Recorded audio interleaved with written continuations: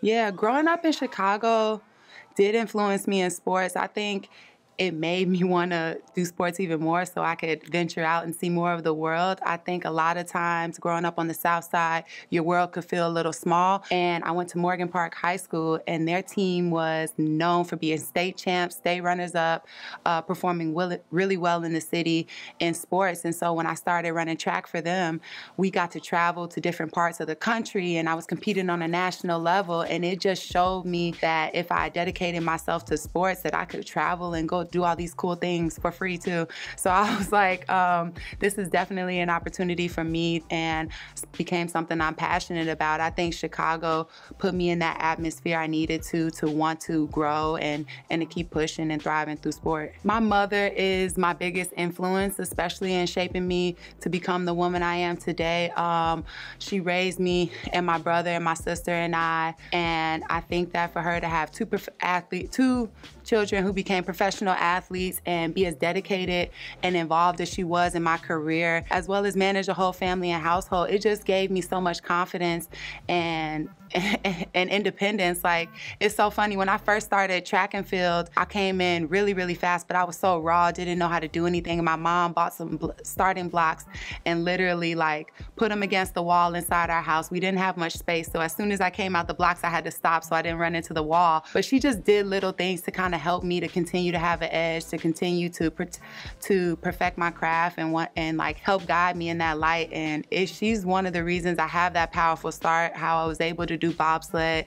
Literally my first time down the ice. Um, I did not like the sport. I was in Lake Placid, New York at the Olympic Training Center, and that's arguably like the roughest track in the world. So it's a mile long track full of twists and turns. When you go through these big turns, you're feeling gravity push you down. So we're pulling like four or five G's. It's really rough, brutal. Um, I'm not in control. I'm just holding on in the back of the sled. And so I hated the sport. When we came through the finish line, everyone was in my face with their cameras and stuff like, how was it trying to gauge my reaction? And I tried to play it cool. Again, I'm fierce, right? So I had that that demeanor, but then as soon as I got a second to step away from them, I literally went in the bathroom and called my mom and was like, hey, so can I come home? Because I don't know if this works for me. Um, this is crazy. I don't know how this qualifies at the Olympics.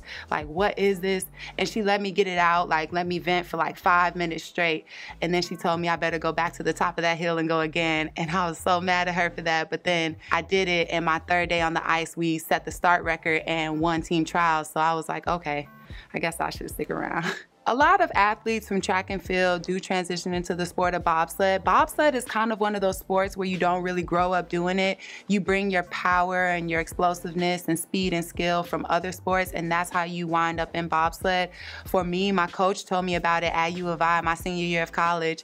Um, it's so funny because him and I didn't have the best relationship. So when he told me that he thought I would be this really good bobsledder and I could go on and be like Vonetta Flowers and Herschel Walker, I wasn't hearing anything he was saying. All I saw was cool runnings. And I'm like, I'm not your cool running story. like, that's just how it felt at the time. And so I, I kind of brushed it off for about a year and a half. And I was working as a sports performance trainer uh, up in, in Highland Park at EFT Sports Performance.